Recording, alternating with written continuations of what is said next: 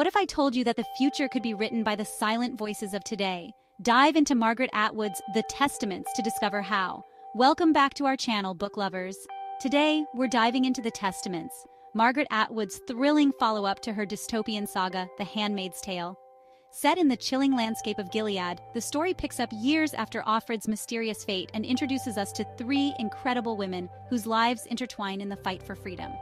Agnes, a young woman in Gilead, Daisy, a rebel from Canada, and Aunt Lydia, a complex figure with a plan that could alter the course of history.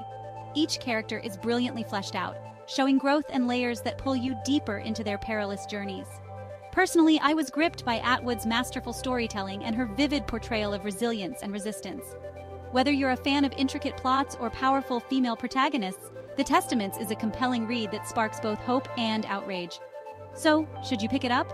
Absolutely, especially if you enjoyed The Handmaid's Tale or have a penchant for stories that explore dark yet hopeful futures.